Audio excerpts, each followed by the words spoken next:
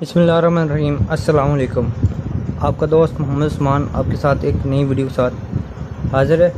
आज हम एक बहुत अहम क्रॉप, कैश क्रॉप के मतलब बात करेंगे और उसके जो हैं पेस्ट, उसको डिस्कस करेंगे। तो आज हम सबसे पहले उसका जो एक अहम पेस्ट है, उसको डिस्कस करते हैं। देन हम फर्दर मूव करेंगे। हम जो पेस्ट है, इसका मेज़ का जो सो मेज़ शूट फ्लाई उसके मतलब बात करते हैं। ये सीडलिंग स्टेज पे इसका जो मैगट्स है, वो अटैक करता है।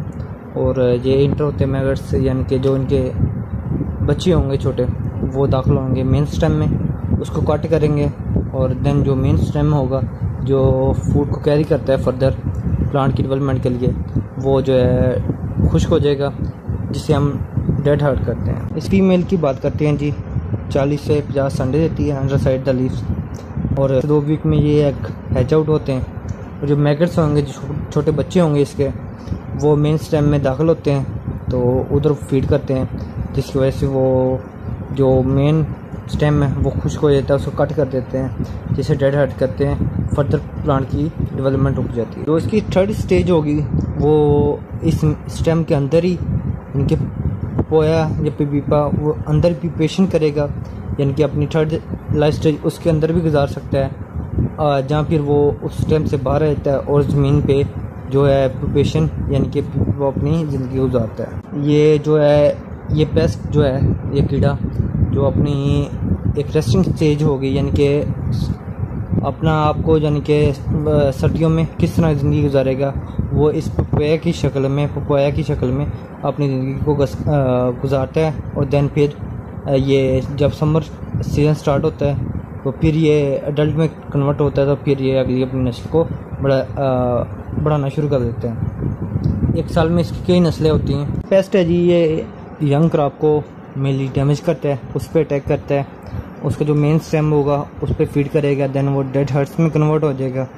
तो अल्टीमेटली जो हमें जो एंड प्रोडक्ट है टेसल्स यानी कि सरगम की जो हमें जो लास्ट प्रोडक्ट छली चाहिए जी, वो प्रोड्यूस नहीं होगी।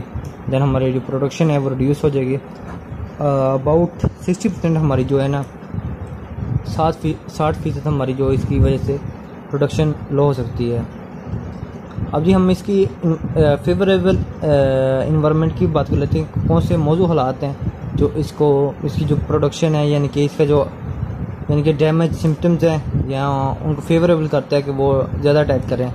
उनमें जी ज़्यादा इरीगेशन करना और क्लाउडी इन्वायरमेंट यानी कि मौसम अबर आलूद रहे, यानी कि बादलों का रहना ज़्यादा देर तक। ये जो मौसम है, ये चीज़ें जो हैं, इसकी इन्फेस्टेशन यानी कि इसके हमले को, यानी कि मौजू बनाती हैं। इसकी मैनेजमेंट की बात कर लेते हैं मैनेजमेंट में क्या चीज़ें हैं, इसमें अब रेजिस्टेंस वराइटी आ गई हैं, यानी कि वो कल्टिवेशन की जाए तो देन हम इसे इनके पेस्ट से छुटकारा हासिल कर सकते हैं। तो otherwise seed treatment main factor है जी। अगर हम उसको ट्रीट करके सो करेंगे देन हम इस पेस्ट से ज़्यादा हासिल कर लेंगे। कंट्रोल की बात कर लेते हैं केमिकल कंट्रोल में। अगर हम सीड कोटिंग नहीं करते तो देन बिफोर सोइंग हमें कार्बोफ्यूरॉन और फोरेट इसकी ये एप्लीकेशन करनी uh, चाहिए फ्रो में बिफोर सोइंग और अगर ये भी नहीं करते उसके बाद हमें अगर पेस्टिसाइड अप्लाई करनी है वो तो कार्बरल टू के जी ऑफ़ कार्बरल जो हमें वो अप्लाई करनी पड़ेगी। आज की वीडियो में हमने आपको मेज़ के पेस्ट एक अहम पेस्ट फ्रूट फ्लाई के मतलब बताया है। तो इन नेक्स्ट वीडियो में हम आपको अगले पेस्ट के बारे में बताएँगे। तो एंड पे आप लोगों से गुजारिश है कि काइंडली आप लोग वीडियो पूरा देखें। इन आपको इंफॉर्मेशन मिलेगी। और इसमें जो कमियाँ हैं, वो हमें बताएँ। इन हम इम्प्रूवमेंट करेंगे। और जिस तरह कल आपको पता है एंड पे मैसेज है। कल चौदह अगस्त था। सब लोगों को जश्न आज़ादी बहुत बहुत मुबारक। और उस सिलसिले में ये एक बात है छोटी सी कि मोहब्बतें फैलाएँ, नफरत पहले बहुत ज़्यादा हैं। शुक्रिया जी। इन नेक्स्ट वीडियो के साथ आप लोगों के साथ हाजिर होते हैं।